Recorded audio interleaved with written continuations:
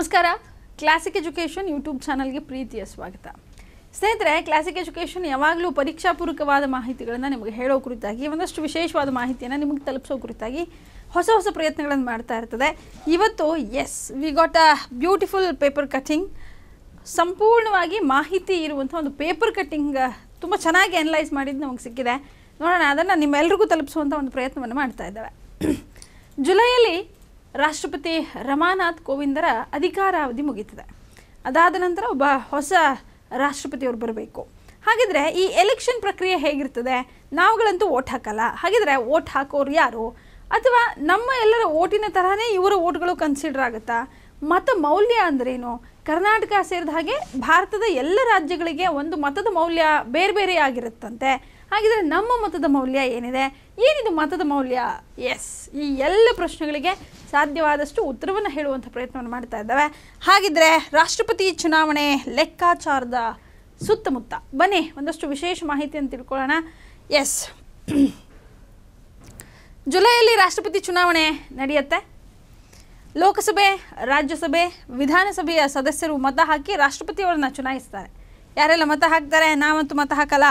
ಆಯಿತಾ? ಯಾರೆಲ್ಲ ಹಾಕ್ತಾರೆ ಅನ್ನೋದನ್ನು ನೋಡಿ. ಜುಲೈಯಲ್ಲಿ ಈ ಎಲೆಕ್ಷನ್ ಆಗ್ತದೆ. ಆಯಿತಾ? ಹಾಗೆ ಎಲೆಕ್ಷನ್ ಆಗುವಾಗ ಓಟನ್ನು ಹಾಕುವಂಥವ್ರು ಯಾರು? ಲೋಕಸಭೆ, ರಾಜ್ಯಸಭೆ, ವಿಧಾನಸಭೆಯ ಸದಸ್ಯರು ಮತವನ್ನು ಹಾಕಿ ರಾಷ್ಟ್ರಪತಿಯವರನ್ನ ಸೆಲೆಕ್ಟ್ ಮಾಡ್ತಾರೆ. ಹಾಗಿದ್ರೆ ಹಾಲಿ ರಾಷ್ಟ್ರಪತಿ ರಮಾನಾಥ್ ಕೋವಿಂದ್ ಅವರ ಅಧಿಕಾರಾವಧಿ ಏನಾಗುತ್ತೆ? ಇದೇ ಜುಲೈಯಲ್ಲಿ ಪೂರ್ತಿ ಆಗುತ್ತೆ. ಇತ್ತೀಚೆಗೆ ಐದು ರಾಜ್ಯಗಳ ವಿಧಾನಸಭೆ ಚುನಾವಣೆ ಮುಗಿದು ಫಲಿತಾಂಶ ಪ್ರಕಟ ಆದಂಥ ಬೆನ್ನಲ್ಲೇ ರಾಷ್ಟ್ರಪತಿ ಚು, ಚುನಾವಣೆಗೆ ಸಂಬಂಧಪಟ್ಟ ಹಾಗೆ ಸಮೀಕರಣಗಳೇನಾಗ್ತದೆ? ಬದಲಾಗ್ತದೆ. ಅಂದರೆ ಯಾವ ಎಸ್ ಅಫ್ಕೋರ್ಸ್ ಈಗ ನಮ್ಮವರು ಹೆಚ್ಚಿದ್ದಾಗ ಎಲ್ಲಿ ಓಟ್ ಹಾಕ್ತಾರೆ? ಅಥವಾ ಒಂದು ಕ್ಯಾಲ್ಕುಲೇಷನ್ ಇರ್ತದೆ. ಇವರು ಇವರನ್ನು ಎಲೆಕ್ಟ್ ಮಾಡಬಹುದು, ಇವರು ಇವರಿಗೆ ಓಟ್ ಹಾಕ್ಬೋದು ಅನ್ನುವಂಥ ಕ್ಯಾಲ್ಕುಲೇಷನ್ ಇರ್ತದೆ. ಆ ಕ್ಯಾಲ್ಕುಲೇಷನ್ ನಾವು ಮಾಡಬೇಕು ಅಂದರೆ ನಮ್ಮ ಪಡೆ ಸ್ಟ್ರಾಂಗ್ ಆಗಿರಬೇಕು, ನಮ್ಮಲ್ಲಿ ಜನ ಹೆಚ್ಚಿರಬೇಕು. ಜನ ಹೆಚ್ಚಿದ್ದಾರೆ ಅಂದರೆ ನಮ್ಮ ಕ್ಯಾಲ್ಕುಲೇಷನ್ ಇರ್ತದೆ. ಈಗ ಭಯ ಯಾರಿಗೆ ಶುರುವಾಗಿದೆ? ಕಡಿಮೆ ಎಲೆಕ್ಟ್ ಆದಂತಹ ಸಂಖ್ಯೆಯನ್ನು ಹೊಂದಿದಂಥವ್ರಿಗೆ ಒಂದು ಭಯ ಶುರುವಾಗಿದೆ. ಎಸ್ ನೋಡೋಣ. ಹಾಗಿದ್ರೆ ನೂತನ ರಾಷ್ಟ್ರಪತಿ ಆಯ್ಕೆ ಎಲೆಕ್ಟ್ರೋರೋಲ್ ಕಾಲೇಜ್ ಪದ್ಧತಿ ಮೂಲಕ ಆಗುತ್ತೆ. ಎಸ್ ಹೇಗಾಗುತ್ತೆ ನೂತನ ರಾಷ್ಟ್ರಪತಿ ಆಯ್ಕೆ ಅಂದರೆ ನೋಡಿ, ಇಲ್ಲಿ ಎಲೆಕ್ಟ್ರೋರೋಲ್ ಕಾಲೇಜ್ ಪದ್ಧತಿಯ ಮೂಲಕ ಏನಾಗುತ್ತೆ? ಆಯ್ಕೆ ಆಗುತ್ತೆ. ಹಾಗಿದ್ರೆ ಸಂಸತ್ನ ಸದಸ್ಯರು ಎಲ್ಲ ರಾಜ್ಯಗಳ ಶಾಸಕರು ಇಲ್ಲಿ ಪಾಲ್ಗೊಳ್ತಾರೆ. ಆ್ಯಸ್ ಯೂಶುವಲ್ ನಾನು ಹೇಳಿದ ಹಾಗೆ ಉತ್ತರ ಪ್ರದೇಶ ಶಾಸಕರ ಮತದ ಮೌಲ್ಯ ಎರಡು ನೂರ ಎಂಟಾಗಿದೆ ಫಸ್ಟಿಗೆ ಈ ಏನಿದು ಮತದ ಮೌಲ್ಯ? ಅದ್ರ ಬಗ್ಗೆ ಮಾತನಾಡೋಣ. ಹಾಗಿದ್ರೆ ಉತ್ತರ ಪ್ರದೇಶ ಶಾಸಕರ ಮತದ ಮೌಲ್ಯ ಬಂದು ಎರಡುನೂರ ಎಂಟಾಗಿದ್ದರೆ ಗೋವಾ ಶಾಸಕರ ಮತದ ಮೌಲ್ಯ ಬಂದು ನೋಡಿಲಿ ಇಪ್ಪತ್ತು. ಓಕೆ ಭಾರತದ ಒಟ್ಟು ಶಾಸಕರ ಮತದ ಮೌಲ್ಯ ಐದು ಲಕ್ಷ ನಲವತ್ತೊಂಬತ್ತು ಸಾವಿರದ ನಾಲ್ಕು ನೂರ ತೊಂಬತ್ತ ಐದು ಭಾರತದ ಒಟ್ಟು ಶಾಸಕರ ಮತದ ಮೌಲ್ಯ ಇದು ಟೋಟಲ್ ಆಗಿ ಹೇಳ್ತಾ ಇದ್ದಾವೆ. ಇನ್ನು ಸಂಸದರ ಮತ್ತು ಶಾಸಕರ ಒಟ್ಟು ಮತಗಳು ಹತ್ತು ಲಕ್ಷ ತೊಂಬತ್ತೆಂಟು ಸಾವಿರದ ಒಂಬೈನೂರ ಮೂರು. ಭಾರತದ ಒಟ್ಟು ಮತಗಳ ಮೌಲ್ಯ, ಸಂಸದರ ಮತಗಳ ಮೌಲ್ಯ ಇದು ಇನ್ನು ಆಡಳಿತಾರೂಢ ಎನ್ ಡಿ ಎ ಸಂಸದರು ಮತ್ತು ಶಾಸಕರು ಹೊಂದಿರತಕ್ಕಂಥ ಮತದ ಮೌಲ್ಯ ಎಷ್ಟಿದೆ ಅಂದರೆ ಐದು ಲಕ್ಷ ಮೂವತ್ತೊಂಬತ್ತು ಸಾವಿರದ ಎಂಟುನೂರ ಇಪ್ಪತ್ತೇಳು. ಅಂದರೆ ನೋಡಿರಿ ಐದು ಲಕ್ಷ ಮೂವತ್ತೊಂಬತ್ತು ಸಾವಿರದ ಎಂಟುನೂರ ಇಪ್ಪತ್ತೇಳು. ಇಲ್ಲಿ ವಿಶೇಷ ಏನು ಅಂದರೆ ಐವತ್ತಕ್ಕಿಂತ ಸ್ವಲ್ಪ ಕಡಿಮೆ ಮತ, ಅಂದರೆ ಶೇಕಡ ಐವತ್ತು. ಬೇಡ ಐವತ್ತು ಬೇಡ, ಶೇಕಡ ನಲವತ್ತು ಅಂತ ಇಟ್ಕೊಳ್ಳೋಣ, ಮೂವತ್ತೈದು ಅಂತ ಇಟ್ಕೊಳ್ಳೋಣ, ದೊಡ್ಡ ಪಾಲು ಅವ್ರದ್ದಾಯಿತು ಹಾಗಿದ್ರೆ ಇಲ್ಲಿ ಶುರುವಾಗಿದೆ ಎನ್ ಡಿ ಎ ಪರಾಭವ ಮಾಡುವಂಥ ಅಥವಾ ಎನ್ ಡಿ ಎ ಕಸರತ್ತನ್ನು ನಾವು ಹೇಗೆ ವಾಪಸ್ ಅವ್ರಿಗೆ ಈ ಒಂದು ಪ್ರಕ್ರಿಯೆಯಲ್ಲಿ ನಾವು ಅವ್ರಿಗೆ ಏನನ್ನು ಮಾಡಬಹುದು, ಹೇಗೆ ಅವರ ಸಮಬಲಕ್ಕೆ ನಾವು ಬರ್ಬೋದು ಅನ್ನುವಂಥ ಒಂದು ಪ್ರಯತ್ನಗಳಾಗ್ತದೆ ಎಸ್ ಹಾಗಿದ್ರೆ ಮತಗಳ ಮೌಲ್ಯವನ್ನು ಹೇಗೆ ಅಳೀತಾರೆ? ಎಸ್ ಕರ್ನಾಟಕದ ಮತದ ಮೌಲ್ಯ ಏನಿದೆ, ಬಿಹಾರದ್ದು ಏನಿದೆ, ಬೇರೆ ಬೇರೆ ರಾಜ್ಯಗಳದ್ದು ಏನಿದೆ ಅನ್ನೋದನ್ನು ಹೇಳ್ತೀನಿ. ಹಾಗಿದ್ರೆ ಮತದ ಮೌಲ್ಯವನ್ನು ಹೇಗೆ ಅಳೀತಾರೆ ಅನ್ನೋದನ್ನು ನೋಡೋಣ. ಮತದ ಮೌಲ್ಯಗಳು. ಎಸ್ ಇಲ್ಲಿ ನೋಡಿ ಮತದ ಮೌಲ್ಯಗಳ ಕುರಿತಾಗಿ ನೋಡೋದಾದರೆ ಎಸ್ ರಾಷ್ಟ್ರಪತಿ ಚುನಾವಣೆಯಲ್ಲಿ ಮತವನ್ನು ಚಲಾಯಿಸುವಂಥ ಪ್ರತಿಯೊಬ್ಬ ಸಂಸದ ಮತ್ತು ಶಾಸಕರ ಮತಗಳಿಗೆ ಮೌಲ್ಯ ನಿಗದಿಯಾಗಿರ್ತದೆ ನೋಡಿ ಪ್ರತಿಯೊಬ್ಬ ಶಾಸಕ ಮತ್ತು ಸಂಸದರ ಮತಗಳಿಗೆ ಮೌಲ್ಯ ನಿಗದಿಯಾಗ್ತದೆ. ಜೊತೆಗೆ ಇದರೊಟ್ಟಿಗೆ ಇನ್ನೊಂದು ಏನು ಅಂದರೆ ಮೌಲ್ಯ ನಿರ್ಧಾರದಲ್ಲಿ ರಾಜ್ಯದ ಜನಸಂಖ್ಯೆ ಮಹತ್ವದ ಪಾತ್ರವನ್ನು ವಹಿಸ್ತದೆ. ಎಸ್ ಮೌಲ್ಯ ನಿರ್ಧಾರದಲ್ಲಿ ರಾಜ್ಯದ ಜನಸಂಖ್ಯೆ ತುಂಬ ದೊಡ್ಡ ಪಾತ್ರವನ್ನು ವಹಿಸ್ತದೆ. ಹಾಗಿದ್ರೆ ನಮ್ಮ ಜನಸಂಖ್ಯೆ ಆ ಪಾತ್ರದಲ್ಲಿ ಮುಖ್ಯವಾದಂಥ ರೋಲನ್ನು ಪ್ಲೇ ಮಾಡಬಹುದು ರಾಜ್ಯದ ಜನಸಂಖ್ಯೆ ಅನ್ನೋದನ್ನು ಮರಿಬೇಡಿ. ಯಾ ಎಸ್ ಇಲ್ಲಿ ಮತಗಳಿಗೆ ಮೌಲ್ಯ ನಿಗದಿಯಾಗಿರ್ತದೆ. ರಾಜ್ಯದ ಜನಸಂಖ್ಯೆ ಮುಖ್ಯ ಪಾತ್ರವನ್ನು ವಹಿಸ್ತದೆ. ಜೊತೆಗೆ, ಇಲ್ಲಿ ನೋಡಿ ಶಾಸಕರು ಇವರ ಮತದ ಮೌಲ್ಯ ಏನಾಗುತ್ತೆ ಅಂತ. ಇವರ ಮತದ ಮೌಲ್ಯ ಅಳೆಯೋದಕ್ಕೆ ಎಲ್ಲ ಶಾಸಕರ ಸಂಖ್ಯೆಯನ್ನು ಒಂದು ಸಾವಿರದಿಂದ ಗುಣಿಸಲಾಗುತ್ತೆ. ಇಲ್ಲಿ ಸ್ವಲ್ಪ ಸಮ ಮ್ಯಾಥಮೆಟಿಕಲ್ ಥಿಂಗ್ಸ್ ಇಸ್ ದ್ಯಾಟ್ ಸ್ವಲ್ಪ ಸಮಾಧಾನವಾಗಿ ನೋಡಿ. ಶಾಸಕರ ಮತದ ಮೌಲ್ಯವನ್ನು ಅಳೆಯೋದಕ್ಕೆ ಒಂದು ಸಾವಿರದಿಂದ ಗುಣಿಸ್ತಾರೆ. ನಂತರ ಇದನ್ನು ಆಯಾ ರಾಜ್ಯದಲ್ಲಿ, ಅಂದರೆ ಒಂದು ಸಾವಿರದ ಒಂಬೈನೂರ ಎಪ್ಪತ್ತೊಂದರಲ್ಲಿ ಎಸ್ ಲೆಟ್ ಮೀ ಕ್ಲಿಯರ್ ಕೆಲವು ಸತಿ ಏನಾಗ್ತದೆ ಅಂದರೆ ಸಾಮಾನ್ಯ ನನ್ನ ಥರದ ಬಂಧುಗಳು ತುಂಬ ಜನ ಇರ್ತಾರೆ. ಮ್ಯಾಥ್ಸ್ ಅಂದ ತಕ್ಷಣ ಹೆದರ್ಕೊಂಡು ಬಿಡ್ತೀವಿ ನಾವು. ಅದೇನೋ ಗೊತ್ತಿಲ್ಲ ನಮಗೆ. ಯಾ.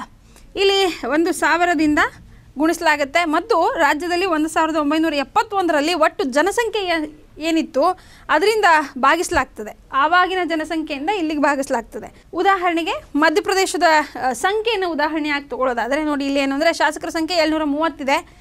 ಮತ್ತು ಇದನ್ನು ಒಂದು ಸಾವಿರದಿಂದ ಗುಣಿಸಬೇಕು ಅನ್ನುವಂಥದ್ದು. ಜೊತೆಗೆ ಇದರಿಂದ ಬಂದಂಥ ಉತ್ತರದಿಂದ ಒಂದು ಸಾವಿರದ ಒಂಬೈನೂರ ಎಪ್ಪತ್ತೊಂದರಲ್ಲಿ ಇದ್ದ ಜನಸಂಖ್ಯೆ ಏನಂದರೆ ಮೂರು ಕೋಟಿ ಹದಿನೇಳು ಸಾವಿರದ ಒಂದು ನೂರ ಎಂಬತ್ತರಿಂದ ಭಾಗಿಸ್ಬೇಕು. ಭಾಳ ಸಣ್ಣ ಸಂಖ್ಯೆಯಿಂದ ಭಾಗಿಸಿ, ನೀವೇನು ಭಾಳ ದೊಡ್ಡ ಸಂಖ್ಯೆ ತೊಗೊಂಡು ಭಾಗಿಸ್ಬೇಡಿ. ಎಸ್ ಮತ್ತು ಆಗ ಒಂದು ನೂರ ಮೂವತ್ತೊಂದು ಆಗ್ತದೆ. ಅಂದರೆ ಅಲ್ಲಿನ ಶಾಸಕರ ಮತದ ಮೌಲ್ಯ ನೂರ ಮೂವತ್ತೊಂದು. ಅರ್ಥ ಆಯ್ತಾ? ಹೇಗೆ ಅರ್ಥ ಆಗಿರಬೇಕು ಅಂತ ಭಾವಿಸ್ತೇನೆ ನಾನು. ಎಸ್ ಮುಂದಕ್ಕೆ ಹೋಗೋಣ. ಹಾಗಿದ್ರೆ ಸಂಸದರ ಮತದ ಮೌಲ್ಯ ಏನಾಗುತ್ತೆ? ಶಾಸಕರದ್ದು ಗೊತ್ತಾಯಿತು. ಸಂಸದರು ಏನು ಹೇಳ್ತಾರೆ? ಎಸ್ ಇಲ್ಲಿ ನೋಡಿ, ಇವರ ಮತದ ಮೌಲ್ಯವನ್ನು ಅಳೆಯೋದಕ್ಕೆ ಶಾಸಕರ ಒಟ್ಟು ಮತದ ಮೌಲ್ಯವನ್ನು ಸಂಸದ ಸಂಸದರ ಸಂಖ್ಯೆಯಿಂದ ಭಾಗಿಸಬೇಕು. ಓಕೆ ಇವರ ಮತದ ಮೌಲ್ಯವನ್ನು ಸಂಸದರ ಸಂಖ್ಯೆಯಿಂದ ಭಾಗಿಸಬೇಕು ಅನ್ನುವಂಥದ್ದು. ಇದನ್ನು ಒಟ್ಟು ಮತದ ಮೌಲ್ಯಕ್ಕೆ ಸಂಸದರ ಸಂಖ್ಯೆಯಿಂದ ಭಾಗಿಸಬೇಕು ಅಂದರೆ ಶಾಸಕರ ಮತದ ಮೌಲ್ಯ. ನೋಡಿ ಇಲ್ಲಿ ಐದು ಲಕ್ಷ ನಲವತ್ತ್ಮೂರು ಸಾವಿರದ ಎರಡು ನೂರ ಹದಿನೆಂಟನ್ನು ಏಳ್ನೂರ ಎಪ್ಪತ್ತಾರರಿಂದ ಭಾಗಿಸ್ಬೇಕು. ಇಲ್ಲಿ ಸಾವಿರದಿಂದ ಭಾಗಿಸಿದ್ವಿ, ಇಲ್ಲಿ ಏಳ್ನೂರ ಎಪ್ಪತ್ತಾರರಿಂದ ಭಾಗಿಸ್ಬೇಕು. ಇಲ್ಲಿ ಶಾಸಕರ ಮತದ ಮೌಲ್ಯ ಎಷ್ಟರಿಂದ ಭಾಗಿಸ್ಬೇಕು? ಏಳ್ನೂರ ಎಪ್ಪತ್ತಾರರಿಂದ ಭಾಗಿಸ್ಬೇಕು. ಮತದ ಮೌಲ್ಯ ಏನಾಗುತ್ತೆ? ಏ, ಏಳ್ನೂರ ಎಂಟು ಅಂದರೆ ಸೆವೆನ್ ಸೆವೆನ್ ಸಿಕ್ಸ್ ಸಂಸದರಾಗಿರ್ತಾರೆ. ಇಲ್ಲಿ ಏಳ್ನೂರ ಈ ಸಂಖ್ಯೆನ ನೆನಪಲ್ಲಿ ಇಟ್ಕೊಳ್ಳಿ. ಇನ್ನು ಸಂಸದರ ಸಂಖ್ಯೆ ಮಧ್ಯದಲ್ಲಿ ಕಡಿಮೆ ಆದರೆ ಮತ ಮೌಲ್ಯ ಕಡಿಮೆ ಆಗಲ್ಲ. ಆಯಿತಾ? ಮತ್ತು ಈ ಮತಮೌಲ್ಯದೇನು ರೀ ಅವಾಗ ಅವ್ರು ಕಡಿಮೆ ಆದರೆ ಕಡಿಮೆ ಆಗುತ್ತಾ ಇಲ್ಲ? ನೋ ಇಟ್ ವೋಂಟ್ ದೆನ್ ಹಾಗಿದ್ರೆ, ಈಗ ನಾನು ಮಾತಾಡ್ತಾ ಮಾತಾಡ್ತಾ ಹೇಳಿದೆ ಏನು ಅಂದರೆ ನಮ್ಮದು ಪ್ರತಿ ರಾಜ್ಯಗಳ ಮತದ ಮೌಲ್ಯ ಚೇಂಜ್ ಆಗ್ತದೆ ಅಂತ. ಶಾಸಕರು ಹೊಂದಿರತಕ್ಕಂಥ ತಲಾ ಮತದ ಮೌಲ್ಯ ಏನು? ಇಟ್ ಡಿಫರ್ಸ್ ಒಂದು ರಾಜ್ಯದಿಂದ ಇನ್ನೊಂದು ರಾಜ್ಯಕ್ಕೆ ಅದು ಚೇಂಜ್ ಆಗ್ತದೆ. ಹಾಗಿದ್ರೆ ಪಂಜಾಬು ಒಂದು ನೂರ ಹದಿನಾರು ಒಬ್ಬ ಶಾಸಕನ ಮತ ಒಂದು ನೂರ ಹದಿನಾರು ಮತದ ಮೌಲ್ಯವನ್ನು ಹೊಂದಿರುತ್ತದೆ.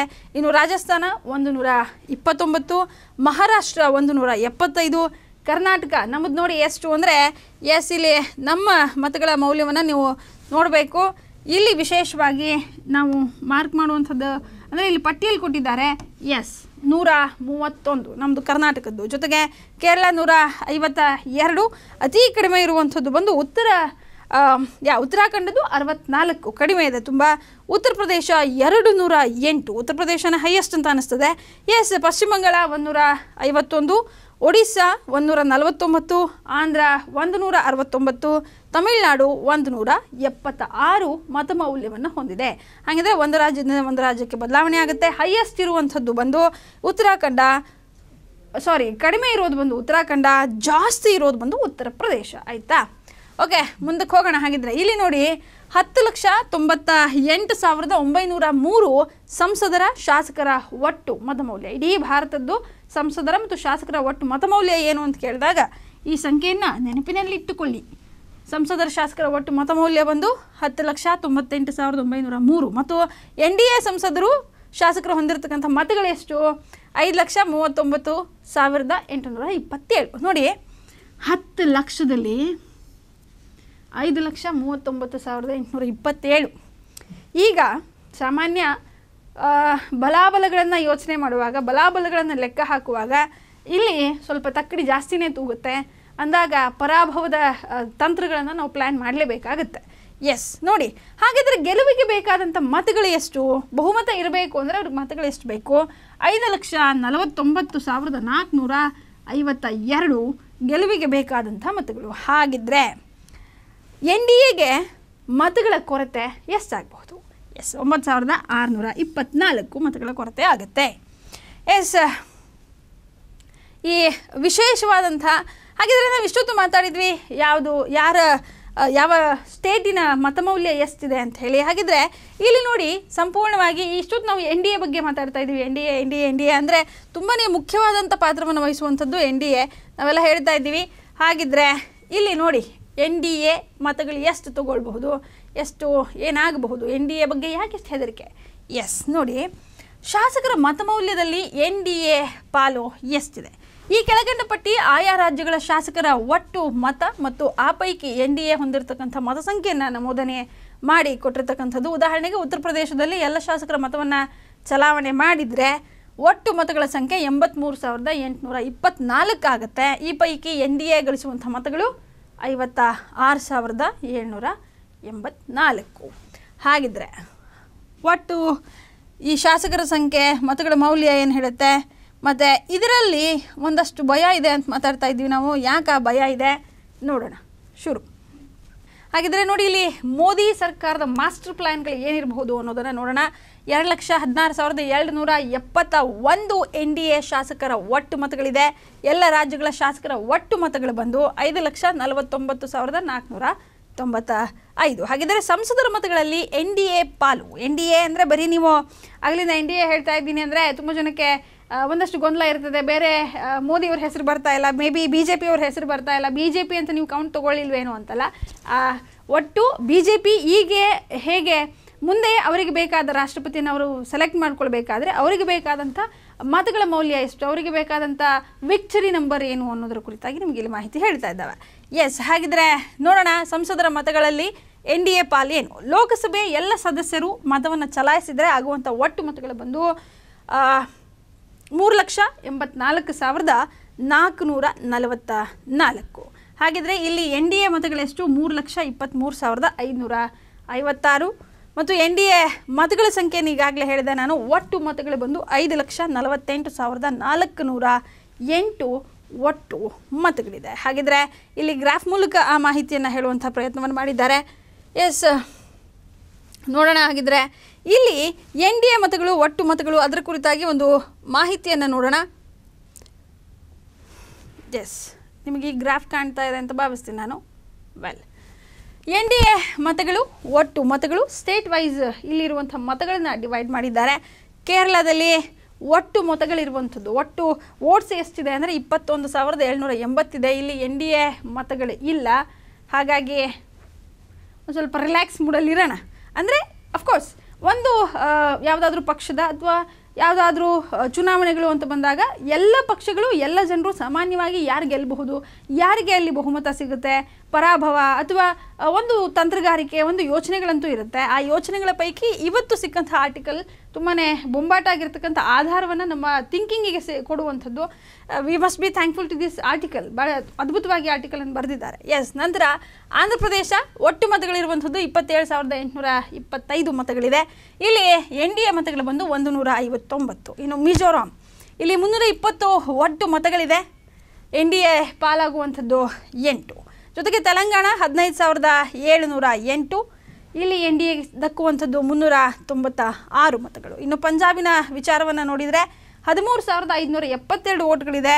ಎನ್ ಡಿ ಎ ಪಾಲು ನಾಲ್ಕುನೂರ ಅರವತ್ನಾಲ್ಕು. ದೆಹಲಿ ಸ್ವಲ್ಪ ಮಟ್ಟದ ತೂಕದಲ್ಲಿ ದೆಹಲಿ ಏನು ಅಷ್ಟು ಪೆಟ್ಟು ಕೊಡಲ್ಲ ಅಂತ ನಾನು ಭಾವಿಸ್ತೇನೆ. ಯಾಕಂದರೆ ನಾಲ್ಕು ಸಾವಿರದ ಅರವತ್ತು ಒಟ್ಟು ಮತಗಳಿದೆ. ಇಲ್ಲಿ ನಾಲ್ಕುನೂರ ಅರವತ್ನಾಲ್ಕು ಎನ್ ಡಿ ಎ ಪಾಲಾಗುತ್ತೆ.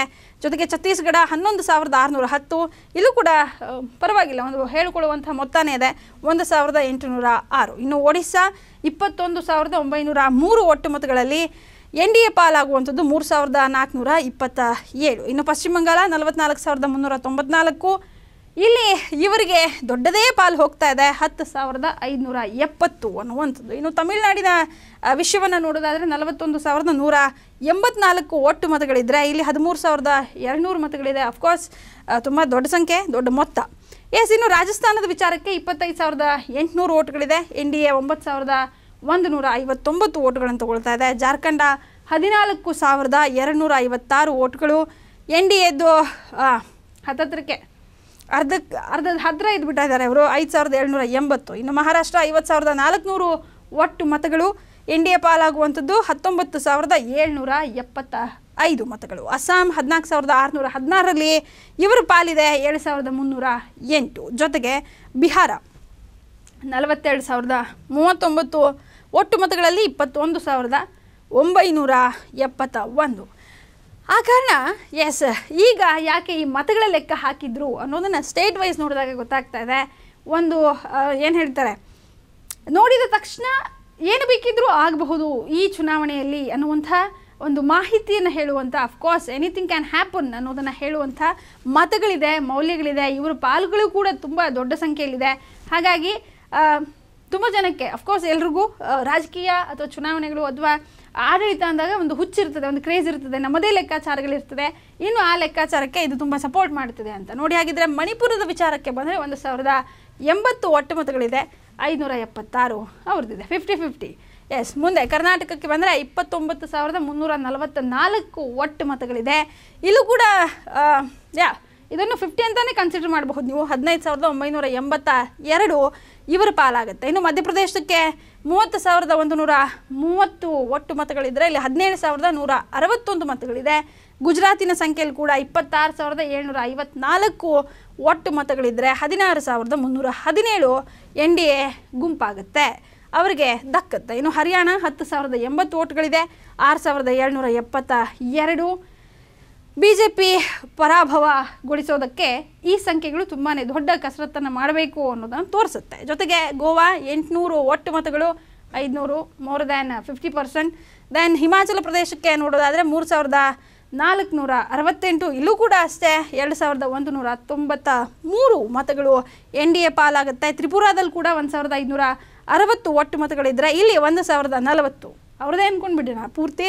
ಎಸ್ ಇನ್ನು ಉತ್ತರ ಪ್ರದೇಶ ಎಂಬತ್ತ್ಮೂರು ಸಾವಿರದ ಎಂಟುನೂರ ಇಪ್ಪತ್ನಾಲ್ಕು. ಇಲ್ಲೂ ಕೂಡ ಸಿಂಹಪಾಲಿದೆ ನೋಡಿ, ಐವತ್ತಾರು ಸಾವಿರದ ಏಳ್ನೂರ ಎಂಬತ್ನಾಲ್ಕು ಮತಗಳು ಅವ್ರಿಗೆ ದಕ್ಕತ್ತೆ. ಇನ್ನು ಉತ್ತರಾಖಂಡ ನಾಲ್ಕು ಸಾವಿರದ ನಾಲ್ಕುನೂರ ಎಂಬತ್ತರಲ್ಲಿ ಮೂರು ಸಾವಿರದ ಒಂದೂರ ಮೂವತ್ತಾರು. ಇದಕ್ಕೊಂದು ದೊಡ್ಡ ಪ್ರತಿತಂತ್ರವನ್ನೇ ಹೆಣಿಬೇಕಾಗುತ್ತೆ. ಗೆಲ್ಲಬೇಕು ಅನ್ನುವಂಥವ್ರು. ಮೇಘಾಲಯ ಒಂದು ಸಾವಿರದ ಇಪ್ಪತ್ತು ಒಟ್ಟು ಮತಗಳು. ಏಳ್ನೂರ ಎಂಬತ್ತ ಎರಡು ಎನ್ ಡಿ ಎದ ಬೊಕ್ಕಸಕ್ಕೆ ಸೇರಿಕೊಂಡಿದೆ. ಅರುಣಾಚಲ ಪ್ರದೇಶದಲ್ಲಿ ನಾಲ್ಕುನೂರ ಎಂಬತ್ತು ಎನ್ ಡಿ ಎ ಬೊಕ್ಕಸದಲ್ಲಿ ಇದು ಮುನ್ನೂರ ಎಂಬತ್ನಾಲ್ಕು. ಇನ್ನು ಪುದುಚೇರಿಗೆ ಬಂದರೆ ನಾಲ್ಕುನೂರ ಎಂಬತ್ತು ಒಟ್ಟು ಮತ ನಾಲ್ಕುನೂರು ಅವರದ್ದೇ. ಸಿಕ್ಕಿಂ ಎರಡುನೂರ ಇಪ್ಪತ್ನಾಲ್ಕು. ಒಟ್ಟು ಅವರಿಗೆ ದಕ್ಕುವಂಥದ್ದು, ಎನ್ ಡಿ ಎಗೆ ದಕ್ಕುವಂಥದ್ದು ಎರಡು ನೂರ ಹದಿನೇಳು. ಇನ್ನು ನಾಗಾಲ್ಯಾಂಡ್ ಐನೂರ ನಲವತ್ತು ಒಟ್ಟು ಮತಗಳಿದೆ ಸೊ ಇಲ್ಲಿ ಯಾವುದೇ ಭಯ ಪಡಬೇಡಿ, ಇದೊಂದು ಜಾಗದಲ್ಲಿ ಅಂತ ರಿಲ್ಯಾಕ್ಸಿಂಗ್ ಮೂಡಲ್ಲಿದೆ ಎಸ್ ಆ್ಯಸ್ ಯೂಶುವಲ್ ನಾನು, ಈ ವಿಚಾರವನ್ನು ಓದುವಾಗ, ಹೇಳುವಾಗ ಎಲ್ಲರೂ ಒಂದು ಏನು ಅಂದರೆ, ಎಲ್ಲ ಶಾಸಕರು, ಸಂಸದರು ಮತವನ್ನು ಚಲಾಯಿಸಿದರೆ ಅಂತ. ಅಫ್ಕೋರ್ಸ್ ಬರೀ ಶಾಸಕರು, ಸಂಸದರು ಮತವನ್ನು ಚಲಾಯಿಸೋದು ಅವರ ಮತಗಳೇ ಮೌಲ್ಯ, ಅವರ ಮತಗಳನ್ನೇ ಕೌಂಟ್ ಮಾಡಬೇಕು ಅನ್ನುವಂಥದ್ದು ರಾಷ್ಟ್ರಪತಿ ಚುನಾವಣೆಯಲ್ಲಿ ಇರಬಹುದು. ಆದರೆ ಪ್ರತಿ ಚುನಾವಣೆ ಗೆಲ್ಲಬೇಕು ಅಂದರೆ ಭಾರತದ ಪ್ರತಿಯೊಬ್ಬ ನಾಗರಿಕನು ತನ್ನ ಮತವನ್ನು, ತನ್ನ ಮತಕ್ಕಿರ್ತಕ್ಕಂಥ ಮೌಲ್ಯವನ್ನು ಚಲಾಯಿಸಲೇಬೇಕು ಅನ್ನುವಂಥದ್ದು. ಹಾಗಿದ್ರೆ ರಾಷ್ಟ್ರಪತಿ ಚುನಾವಣೆಯ ಲೆಕ್ಕಾಚಾರದ ಸುತ್ತಮುತ್ತ ಏನಿದೆ, ಹೇಗಿದೆ? ಆ್ಯಕ್ಚುಲಿ ಸ್ಟ್ಯಾಟಿಸ್ಟಿಕ್ಸ್ ಏನು ಹೇಳುತ್ತೆ? ಜನಸಂಖ್ಯೆಯ ಪ್ರಕಾರ ಅಥವಾ ನಮ್ಮ ಒಂದು ಅಕ್ಯುರೇಟ್ ಆಗಿರ್ತಕ್ಕ ಶಾಸಕರು, ಸಂಸದರ ಇವರ ಲೆಕ್ಕಾಚಾರದಲ್ಲಿ ಏನಾಗಬಹುದು ಅನ್ನೋದರ ಕುರಿತಾಗಿ ಸಂಪೂರ್ಣವಾಗಿ ನಿಮಗೆ ಮಾಹಿತಿ ಸಿಕ್ತು ಅಂತ ಭಾವಿಸ್ತೇನೆ. ಇದೇ ರೀತಿ ಇನ್ನಷ್ಟು ವಿಶೇಷವಾದಂಥ ಮಾಹಿತಿಗಾಗಿ ನೋಡ್ತಾ ಇರಿ ಕ್ಲಾಸಿಕ್ ಎಜುಕೇಷನ್ ಯೂಟ್ಯೂಬ್ ಚಾನಲ್ ಈ ಮಾಹಿತಿ ನಿಮ್ಮೆಲ್ಲ ಸ್ನೇಹಿತರ ಜೊತೆಗೆ ಹಂಚಿಕೊಳ್ಳಿ ಮತ್ತು ನಮ್ಮ ಚಾನಲ್ಗೆ ಸಬ್ಸ್ಕ್ರೈಬ್ ಆಗದ ಬಂಧುಗಳು ತಪ್ಪದೆ ಸಬ್ಸ್ಕ್ರೈಬ್ ಆಗಿ ಮತ್ತೆ ಹೊಸದೊಂದು ಮಾಹಿತಿ ಜೊತೆಗೆ ಸಿಗ್ತವೆ. ಅಲ್ಲಿವರೆಗೂ ಥ್ಯಾಂಕ್ ಯು